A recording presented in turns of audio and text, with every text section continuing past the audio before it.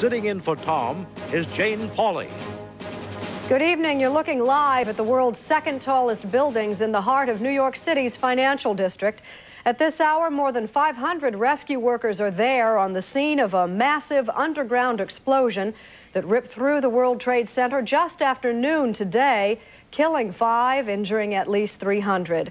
NBC's John Miller is there now with late information on the cause of today's explosion. John? Well, Jane, the United States Department of Justice is operating on the assumption tonight, on the theory that this was the work of terrorist bombers because of the debris and rubble that have collapsed from two floors into a sub-basement garage where they believe the blast originated. They have not been able to get bomb squad people down there to find the point of origin. Incidentally, this is the same garage that the United States Secret Service uses to store President Bill Clinton's limousine, the one he uses when he travels to the New York metropolitan area. In the meantime, bomb experts here from the FBI's Joint Terrorist Task Force, New York City Police Department Bomb Squad, and the Treasury are assuming because of the force of this blast, the incredible force, that it could only have been done using some kind of vehicle that could carry hundreds of pounds of explosives, a kind of car bomb, as uh, we've seen in cases in Lebanon. Right now, though, they say because of that rubble, they can't get down there, and it will be not days, but possibly weeks before they can dig their way in and find the point of origin. So they are operating on the assumption that it was a bombing. And of course, there was a call taking credit for this from a group calling it the Serbian Liberation Front, but they cannot verify the veracity of that call because it came in more than an hour after the blast. Jane? Well, thanks, John. Uh, Gary Matsumoto is also there. Gary, what's the scene at this hour? Gary Matsumoto?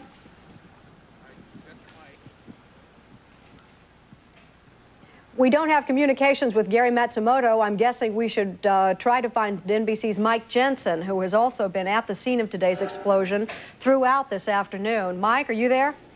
Jane, I'm here. I've been talking to survivors, people who thought that they would be trapped in the building, and the stories they tell are chilling.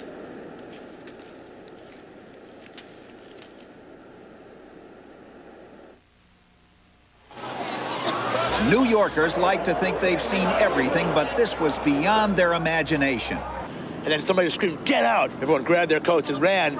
From his Midtown studio, anchorman Chuck Scarborough talked to people trapped in the giant building, tried to calm them. Will someone come and get us, please? we're, well, we're, we're, going to, we're going to try to help you out, Deborah. But downtown, it was chaos. And we just heard boom, and the whole building shook. A pregnant woman was rescued by helicopter. What was the, the worst moment for you? The worst moment for me was around the 40th floor because my knees just became like jelly. And if it wasn't for the support of my coworkers who kept saying, you got to keep going, I probably would have just sat there. I said, can I rest? Did you I... ever think you might not make it? Yes, yes, I did. Charles McAteer was on the 56th floor when the explosion hit. We went in the 20th floor and we had to get down on our hands and knees and crawl till we got into one of the offices so we could breathe, okay? That time I panicked because uh, it didn't look good at that time. Outside, rescue workers helped those who had collapsed or were having trouble breathing. Annette Zitron said it was a terrifying experience. We thought it was an earthquake. That's what we thought because the building shook and glass started flying and I just said to my husband, run, run, get out of here. And I knew when we came in where the, um, I knew where the door was, so we just ran outside and then I couldn't find my husband and I thought something happened to him. And then luckily we were reunited. Carmen Lirio thought she'd never make it out of the building. I thought I was going to die of the smoke. If I would have been there two more minutes with that smoke, I think I would have passed out. It was, it was horrifying. I've never seen anything like it. Some of the survivors were exposed to asbestos, so they were taken to a special room here at the World Trade Center where they were showered and their clothes were laundered. Jane? Thanks, Mike. Now let's go to NBC's Gary Matsumoto for a recap of what happened today. Gary? Jane, at this hour, helicopters are still swarming the World Trade Center. Firefighters are still inside searching for the injured. There are at least 38 people in a triage unit on the 48th floor. There are no plans at this hour to evacuate them. For the estimated 130,000 people who work and visit the World Trade Center every day, darkness fell about 1215. The explosion blacked out the entire complex. The power is out. There are people still trapped inside in elevators. Thousands poured out of the building, gasping for air. Eyes glazed with shock, they spoke of the devastation within. There was no help whatsoever. Trapped on 94 floors all the way up. Nobody came. There was smoke, and then the lights went out, and I'd say about 70 floors we had no lights. Stairwells became smokestacks. Clouds of soot billowed up the stairs to the very top of the 110-story office towers.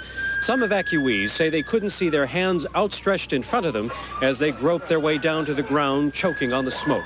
The walls just blew in, and everybody, everything went blank after that. Walls collapsed, furniture's down. It's, it's a mess downstairs.